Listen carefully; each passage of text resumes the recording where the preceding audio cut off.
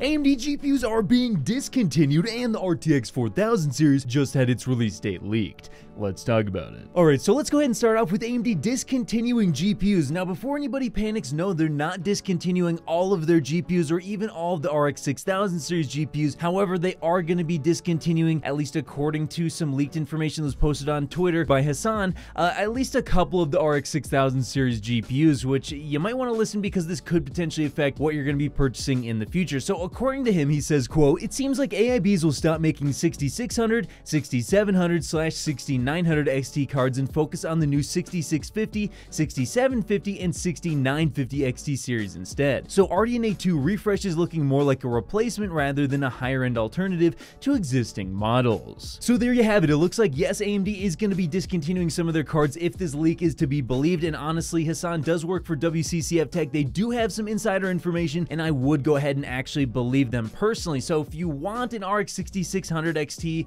or 6700 XT or 6900 XT and you're not willing to buy these new GPUs for whatever reason, well then I guess now might be the time to pull the trigger as it's looking like they could potentially be discontinued. Now, some more information about these graphics cards real quick if you don't know, they're just going to be a slight clock speed increase, the 6650 XT through 6950 XT, and they're also going to bring slightly higher memory clock speeds as well. So they are going to be just a little bit faster. Hopefully they're going to come in at the same MSRP, although that isn't necessarily guaranteed. Now, taking a look over at videocardz.com, they actually do have an image of what potentially potentially could be the new generation or new refresh of GPUs coming out from AMD very, very soon here. And actually, if we take a look at these cards, I think they look really nice. Specifically taking a look at what I believe is the 6650 XT, I really like this new design for the reference model, and I do hope that this is the actual final model. I also like that all three of these cards are in black. I think it looks super, super nice and definitely distinguishes them from the original cards they're replacing. And on top of that, honestly, some of these cards are looking really, really chunky. Now, the 6750 XT doesn't necessarily look any more chunky than the original, but that 6950 XT, you know, maybe I'm just remembering things wrong, but that thing looks really, really chunky and hopefully will do a better job of cooling than the original card it's going to be replacing. But hey, I guess we'll just have to wait and see when these things come out, you know, if they come out at a good price and if they're actually going to be cooling these things any better than the original models. But now let's go ahead and talk about the RTX 4000 series release date, which was leaked yet again over on Twitter. Now, this leaked information comes from the Twitter user Greymon55, who has been leaking a ton of stuff recently and does seem to have a good idea of how things are going to be going. So personally, I'm going to go ahead and say that what he says here is probably pretty likely to come true. Now, what he does say about the release date is this, quote, the next generation of new products are basically concentrated in September. Very exciting. Then Sebastian responded by saying, quote, you said before that N33 will be released first from the RDNA 3 lineup. Is that still looking to be the case right now? Also, will N32 and N31 follow shortly afterwards, or will they ship early next year? As for NVIDIA, I expect them to go through with Ada launch same way they did with Ampere.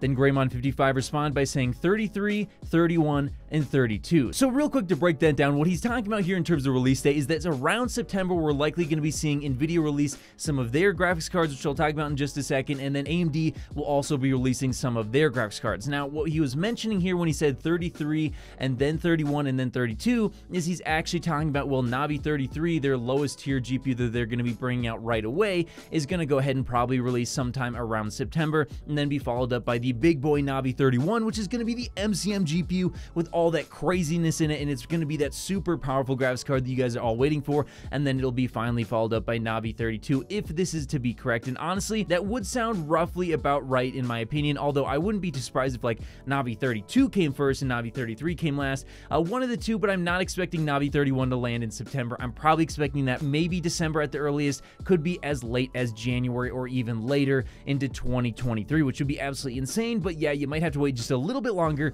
for that insane 7900 XT or 7950 XT or whatever they end up calling it. Now, when it comes to NVIDIA, I actually do believe he's correct in that they are going to be launching in September, but not all of their graphics cards. Now, I think they're going to start out with cards like the RTX 4080, potentially 4070, as well as the RTX 4090, or maybe even 4090 Ti, and there will be a slightly staggered release there. I think you will be able to get your hands on the 4080 first, probably even as early as September, then into October, you'll be talking about the 4070, and then late October or early December, we could be talking talking about the 4090 or 4090 Ti. And then the other cards like the 4060 Ti and 4060, those cards probably aren't going to be coming until like 2023 at some point. So if you're someone who's looking for an RTX 3060, don't worry, that thing isn't going to be replaced for some time. But if you are someone who's looking for a brand new graphics card, yeah, we're talking about roughly around September is exactly when I'm expecting some of these cards to start launching. And then hopefully shortly thereafterwards, you will actually be able to get your hands on them at MSRP if things do continue down their current route. But hey, that's just what I think. When do you think NVIDIA and AMD will be releasing their next generation GPUs? Let me know your guys' thoughts in the comments below, and of course,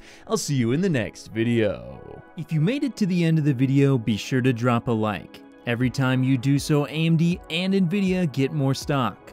Also, if you want to see more, click here. You won't be disappointed.